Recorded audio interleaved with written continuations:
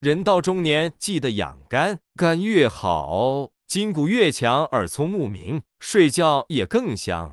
人到了中年一定要养肝，因为肝藏血，还主管一身之气，而气血就是生命的根本，可以滋养筋骨、五脏、五窍、心神。所以肝越好，气血越通畅，那筋骨也就越强，眼睛越亮，耳朵越好，睡眠也更香了。那养肝呢，主要分为三步。第一步就是疏通，因为现代人呢，十个有九个都存在肝气瘀滞的情况，平时呢容易出现一些胸闷、喜欢长叹气、情绪不好、焦虑、急躁或者闷闷不乐之类的情况。像有的人呢，可能还会伴随着一些嗓子眼里有痰，或者脾胃消化差、腹胀之类的情况。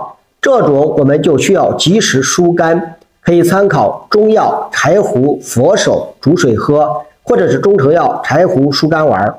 第二步就是清肝，毕竟肝藏血，我们体内的血液循环一周后就会回到肝脏里，其中自然夹杂着一些湿淤血之类的，这种叫做恶血。这种东西呢会反过来阻滞肝气运行，时间久了还容易出现瘀滞化火的情况。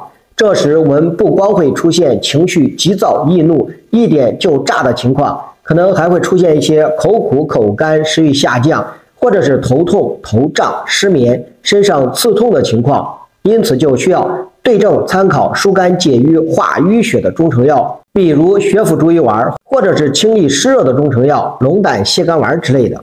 最后才是养肝，主要就是肝中阴血，毕竟肝藏血，同时肝阴常不足，像是肝阴亏损的人。他不光会性格偏急躁，可能还会出现明显的口干口渴、手脚心发热、身心烦闷、坐不住，或者是失眠睡不着、眼睛昏花、迎风流泪，或者是脚后跟酸痛、腰酸腰痛、筋骨发软的情况。毕竟肝肾阴血同源，肝阴不足也会引起肾阴的亏损，因此到了中年，我们也需要及时去补肝肾、养阴血。可以参考一个龟芍地黄丸调理。那以上就是关于养肝的内容了。另外，我们主要是分享思路，不是让大家盲目跟风用药。像很多粉丝朋友就喜欢问我，这些药是不是得一起用的问题？当然不是了。凡是涉及用药，必须要根据自身情况对症调理。盲目乱用的话，轻一点的是浪费钱没效果，严重的可能还会耽误病情了。因此，大家一定不要盲目跟风用药。今天分享的内容就到这里了，我们下期再见。